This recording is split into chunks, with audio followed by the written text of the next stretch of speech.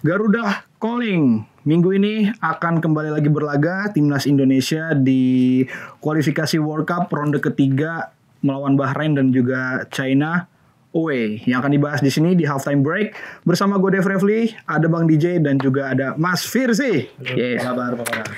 Bang DJ, Mas Firsi, eh, minggu lalu ya kalau gue nggak salah timnas Indonesia sudah Sintayong terutama sudah menentukan pemain-pemain yang akan dipanggil untuk eh, match yang akan bertanding di minggu ini dan juga di minggu depan melawan Bahrain dan juga China. Ada 27 27. pemain dan ada yang dipanggil lagi, ada yang nggak ikut karena cedera itu Justin Hubner. Sebenarnya pengen dari situ dulu. Ini kan eh, memang timnas nih sudah membawa atau sudah meresmikan eh, apa status kewarganegaraan dari Mes Hilhers dan juga sama Eliandor Eliano Reinders Ya. gitu dan apakah tidak ikutnya Justin Hubner ini eh, akan mempengaruhkan dia posisinya kan kalau kemarin kita lihat kan selalu di center back posisi sebelah kiri. Apakah itu akan berpengaruh nanti atau ada yang menggantikan atau gimana nanti, Hmm. Bang DJ? Lu ngomongin apa dulu nih pemain pemainnya dulu. Iya. 27 pemain ya. Ya kalau dari gue ya barangkali memang eh, yang menarik adalah Justin Hubner nggak bisa gabung ya. Itu isunya cedera, bener apa enggak sih? Benar benar dia Cedera udah bilang kok Iya cedera. kan? Tapi posisinya kayaknya slotnya diganti Jordi Amat ya. Jordi Amat. Iya, ya Jordan kan? Amat dipanggil lagi. Satu lagi barangkali ya itu ya eh, Ramadan Sananta yang Ya. eh, tidak dipanggil. Tidak dipanggil. Padahal dia baru nyetak gol di Liga 1 ya. Terus diganti oleh Malik Rasidi ya. Malik Rasidi. Malik Rasidi. Ya tapi kalau melihat ah Malik Oh, Rasadi. Malik Rizaldi, Malik Rizaldi. Nah, kalau lihat dari skuadnya ya memang menurut gua lepas Justin Hubner ya. Ya ini emang yang hari ini yang kita punya yang the bestnya lah. Yang mungkin secara materi udah sering main bareng gitu ya, udah ngerti apa yang Diinginkan diharapkan oleh Coach Shin gitu kan. Jadi terbang ke Bahrain dan nanti ke Cina ya gue rasa ini nama-nama yang cukup inilah cukup pas untuk di Dipasang. kembalinya Jordi ya karena dia kemarin kan bu- absen di ronde September karena cedera. Tapi Eh bukan kartu tuh ya? Jordi ya? Apa? Scholes ya? Kartu ya? Cedera juga deh. Hah. Cedera juga, cedera juga. Iya. Oke. Dan kita tahu emang ketika melawan Irak last match-nya kan juga dia bikin eh, Blunder ya? kesalahan yang lumayan Hmm. eh, fatal ya bagi tim. Di Filipina juga ada beberapa kali kecolongan, lawan Hmm. Irak di Basra juga ya salah satunya. Tapi fakta bahwa dia dipanggil lagi oleh Pochin emang itu menunjukkan bahwa trustnya Shin ke leadershipnya Jordi Amat. tinggi. Eh, apa yang Jordi bawa ke ruang ganti itu pasti juga dilihat dipandang tinggi juga karena eh, Coach Shin kan juga nyamperin Jordi ya ke Johor JDT eh, pasti mereka ngobrol di sana sebagaimana ya ke depannya dan lain-lain soal tim dan lain-lain. Karena kita kedatangan tadi Hilgers sudah bilang kemarin eh, sayangnya Hilgers dia datang ke timnas nggak dalam performa tertinggi ya karena kemarin timnya kan Timnya kalah, kalah. di final. Final, Hmm. ya. Emang uh, gol-golnya bukan salah dia. Kalau Hmm. kita ada satu kesalahan kiper dan satu lagi datang dari flank yang bukan bukan dia bisa ini bisa antisipasi Hmm. gitu. Tapi uh, dia main bagus ketika lawan Man United. Hmm, salah satu yang terbagus di lapangan di Old Trafford dan menurut gue emang mungkin salah satu bakat diaspora terbesar kita ya setelah Bang Jai Bang Jai. dan yang jadi menarik emang adalah bagaimana dia atau di sisi mana dia akan main. Iya, itu dia. Ketika dia memperkuat Twente pasti dia mainnya di sisi kanan pertahanan. Hmm. Eh, da- dan sementara Hubner kan tadi lu bilang dia selalu jadi andalan Shin Taeyong emang karena dia selalu main 90 menit ketika dia available. Iya. Dia sisi kiri tengah pertahanan dan apakah akan ada yang di switch karena kita tahu Jordi Amat juga mainnya di sisi kanan pertahanan jadi numpuk antara Jordi si Rizky si Miss. ya nanti si Miss. Nah salah satu dari mereka itu harus bisa main sebagai back Back kiri kan. Kiri. Karena Bang Jai udah pasti di tengah Di tengah. itu adalah non debatable. Hmm.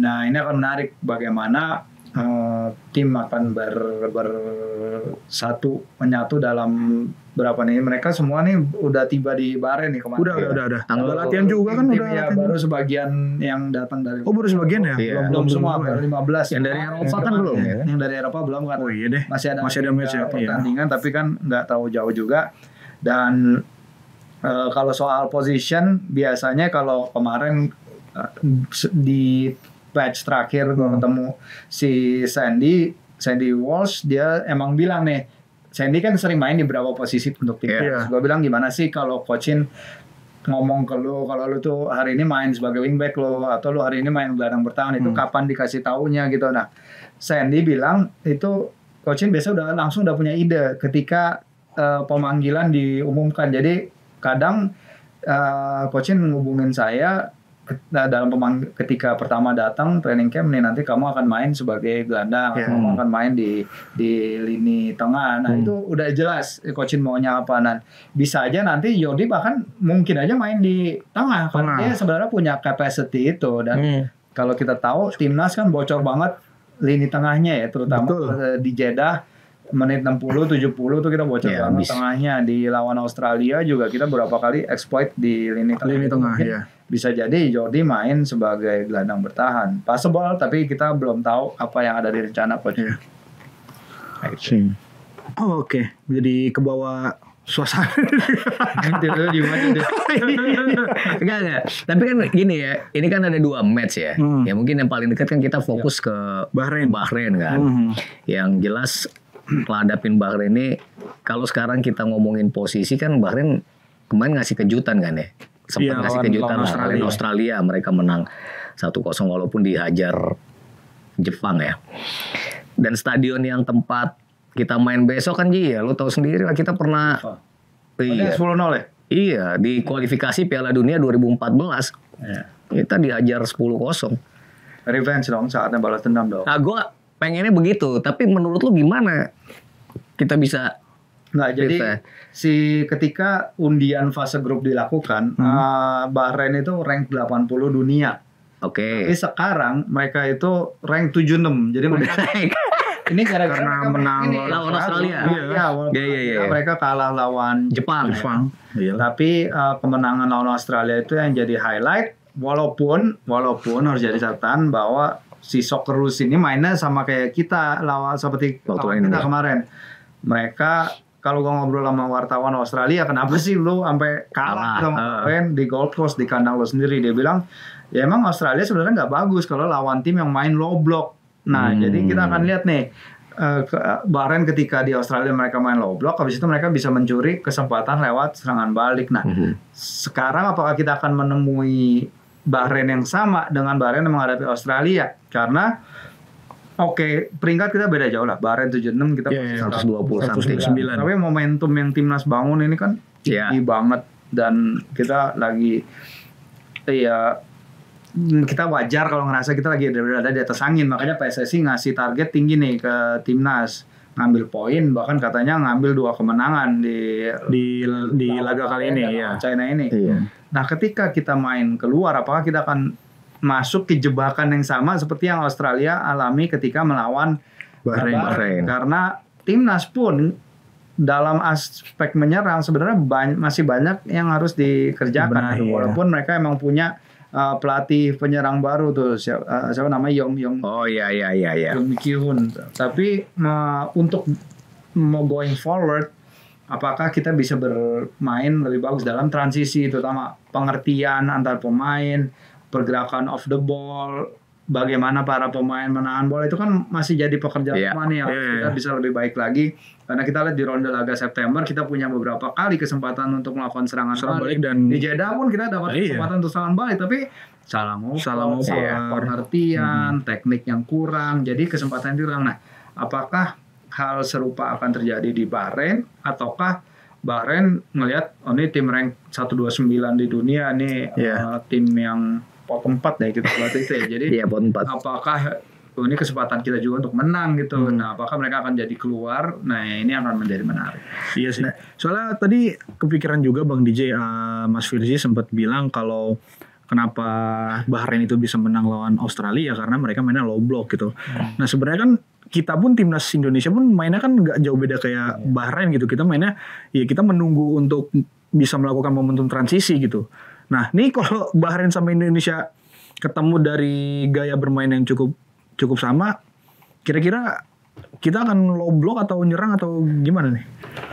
Kalau gue ya ngomong, kalau gue sih berpikiran Hmm. gini ya, eh, kalau gue jadi Sintayong ya, Iya.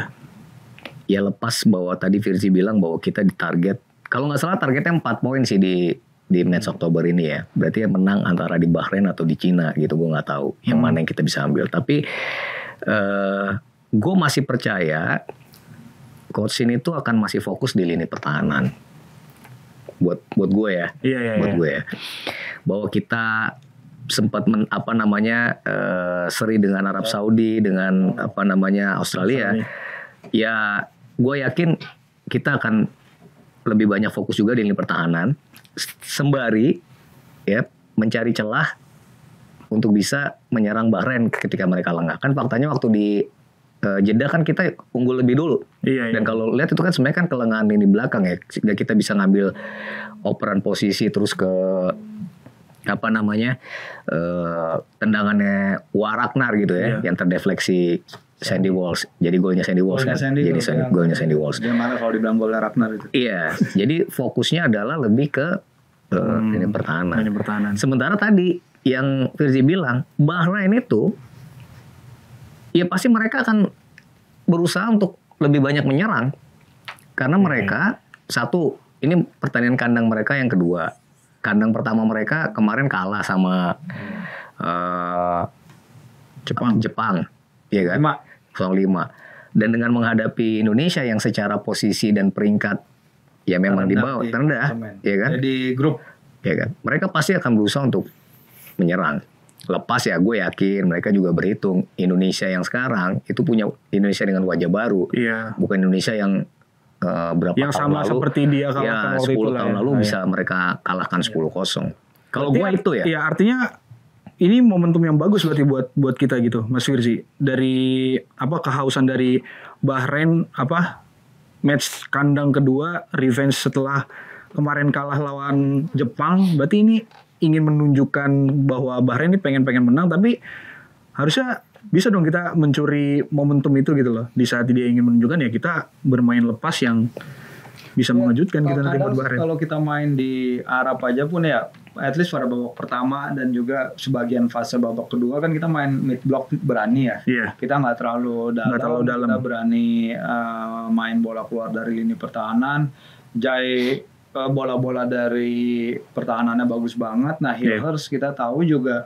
dia punya outball yang cakep banget gitu dia Hmm. bisa distribusi yang bagus tinggal bagaimana kita cari runners tapi untuk kita bertahan untuk kita dapat poin menurut gue salah satu fase yang harus di diperbaiki eh, selain transisi negatif adalah bagaimana cara menahan lawan menghentikan lawan dalam melepas tembakan karena ketika melawan Arab Saudi Indonesia konsit menerima tembakan dari lawan itu 19 kali lawan Australia kita menerima 18 kali itu jumlah yang sangat sangat Besar. tinggi sekali Tinggi iya iya. kita itu survive karena Martin kalau misalnya Martin kan dia kemarin baru cedera pergelangan ya Iya, iya. katanya nggak nggak Nggak terlalu parah ya. lain-lain. tapi tapi kita tergantung sangat terhadap kiper kita dan Betul. itu ke depannya nggak akan sustainable dalam artian bahwa kita nggak bisa dong terus-terusan Terus-terusan. membiarkan lawan menembak hampir 20 kali ke gawang kita.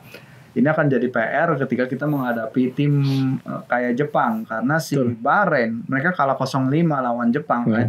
Hanya dari 9 tembakan pemain Jepang yang on target. Jadi ketika kita menghadapi katanya mau lolos Piala Dunia nih. Hmm. Iya. Tapi kalau kita levelnya ketemu tim yang lu tim yang lu dapat satu kesempatan satu gol, habis kita mau kalah berapa? Iya. iya. kalau 18 kali Iya, makanya itu yang bahaya. Jadi memang Bahrain itu sebenarnya mereka udah cukup membatasi si Jepang nih Hmm. kan chances mereka Chances tapi mereka. setengah Tetap aja, iya. tembakan on targetnya Jepang itu Ya, masuk. masuk. Nah, ini yang yang jadi perta- PR juga pertanyaan untuk lini belakang. Mungkin itu sebabnya Jordi tetap dipanggil karena eh, tim ini butuh senioritas yang Hmm. sosok Sisi yang leadership ya. pengalaman ya, Iya. leader karena eh, dua pemimpin di tim kita sebelum ini si Sandy dan si yang paling tua ya Sandy sama Tom Haye. Tom Hai. Uh, ya levelnya mungkin level permainannya belum masih di bawah si si uh, Jordi. Jordi. Ya, Jordi. Kita tahu uh, Jai ini kan Bang Jai di belakang juga leadership dia tinggi gitu. Hmm. Dan ini mungkin yang harus uh, diperbaiki juga ke depannya kerapatan dalam menjaga lini belakang. Oke, berarti memang eh, concern kita nih emang dari lini belakang dulu ya. Dan tadi kan Mas Firzi udah bilang Bang DJ 18 dan 19 Iya, Shoot ngeri itu. menerima menerima tembakan gitu ketika melawan Arab dan juga Australia kemarin gitu. Yang mudah-mudahan sih dengan hadirnya Mes Hilgers dan kembalinya Jordi Amat sih membuat apa namanya lini belakang kita at least gitu. Tapi kira-kira siapa Ji? Lini yang bakal dipasang ya?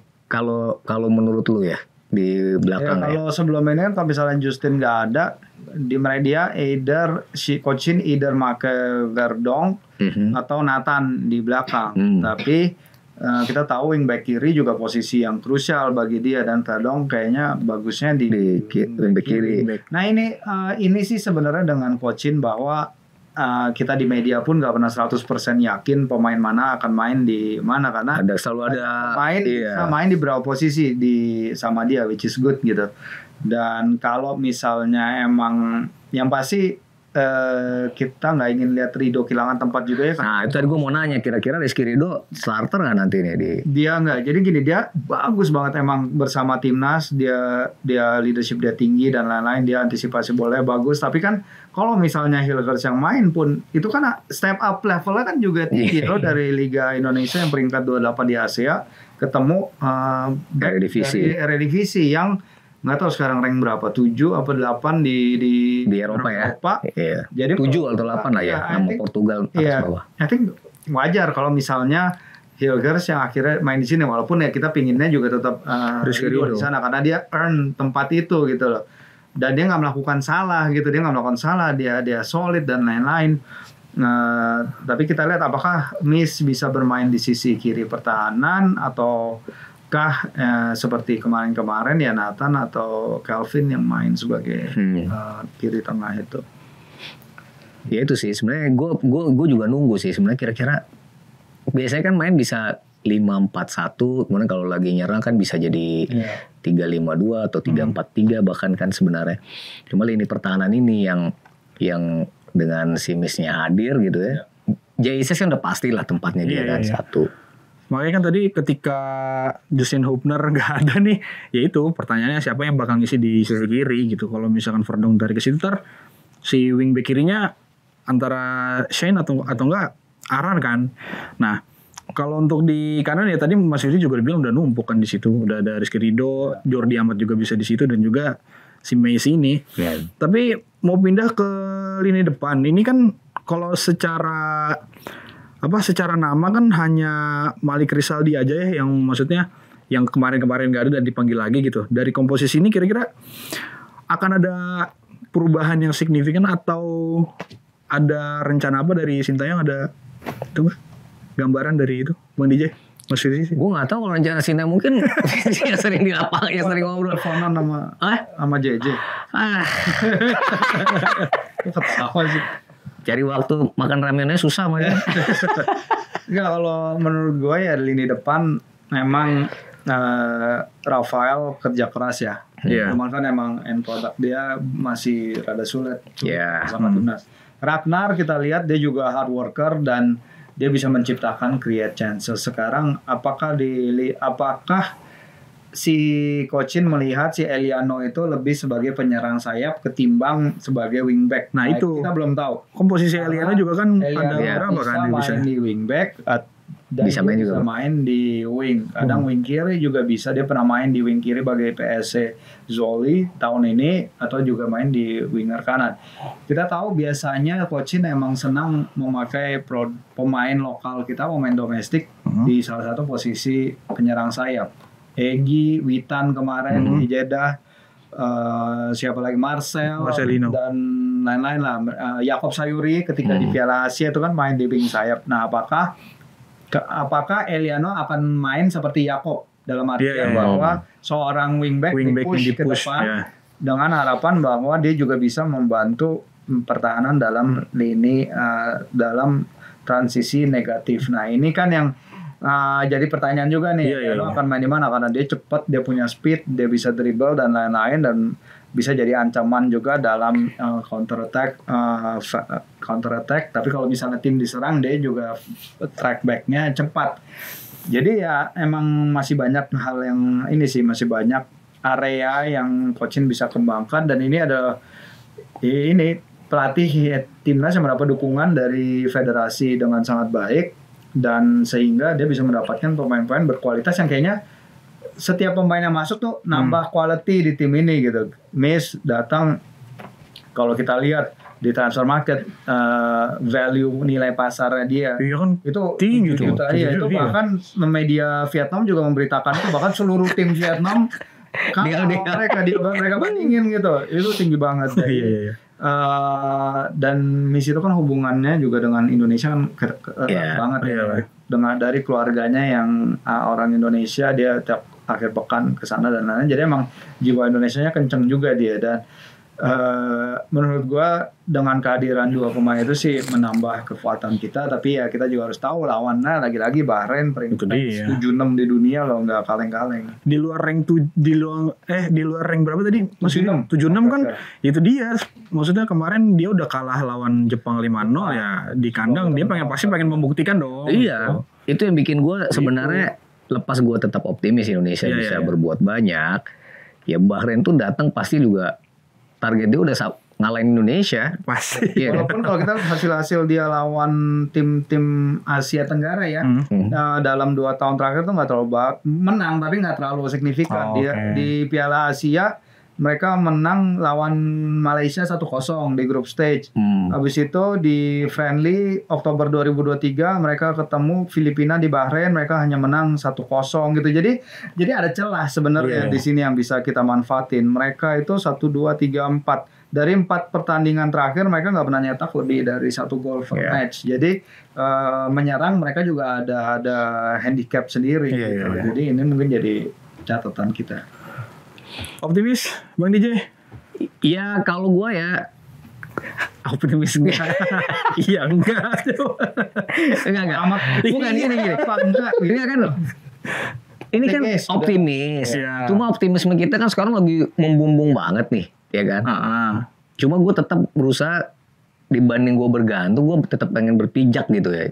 Karena ya kita harus realistis sebenarnya. Satu ini di kandang Bahrain. Iya. Kalau lu ngomongin Bahrain sama Cina, jangan-jangan gue lebih lebih milih kita bisa punya peluang menang lebih besar tuh di Ketika Cina ya. nanti. Di Cina ya. Kecuali kalau kata Virgil waktu ngobrol sama gue makan siang, kecuali dingin banget tuh lapangan stadion apa hari itu. Enggak, dan katanya rumput juga jadi problem. Kan PSSI udah ngirim advance tim advance nih. Ke- katanya ke di Qingdao Youth Stadium itu rumputnya nggak sebagus di apa, untuk venue-venue yang lain. Iya, makanya. Ya kalau di Bahrain kita bisa nggak ke nggak kalah gitu ya, Hmm. seri buat gue sih udah banyak. Tapi ya pengen menang sih gue. Iya kan? Iya iya. Gue Ya pasti, gue ada di menang tahun lawan Bahrain. 2007 loh waktu Indonesia ngalahin Bahrain. Eh udah lama banget sih. Hmm. Waktu kita di Piala Asia tuh tahun 2007. Kita menang 2-1 udah lama banget. Tapi Iya. kebayangkan kalau kita bisa menghapus noda jelek 10-0 itu dengan kemenangan di Bahrain National Stadium nanti. Cuma satu Ji yang gue khawatirin sedikit ya. Eh, dalam kondisi juga Bahrain butuh menang. Hmm. Itu justru di luar lapangan, eh selain pa- para pemain, itu faktor wasit. Kalau nggak salah kan wasitnya dari Oman ya. Gue bingung Eh. kenapa bukan wasit di luar Asia Barat atau di luar Asia Tenggara yang mimpin ya. Nggak tahu juga. Kan so sih ditanya sih ke Pak Marji tapi kayaknya ini aja lah dia tetap jalan. Tetap berusaha positive thinking aja ya. Ya itu sih. Emang ada apa Bang DJ? Ya, ya namanya sesama Oh. Asia Barat ya kan. Kondisinya kan sekarang di grup ini kan Arab Saudi paling yang lebih punya peluang besar Ya. kan. Tapi ya kan nggak tahu sama Australia belum main. Iya.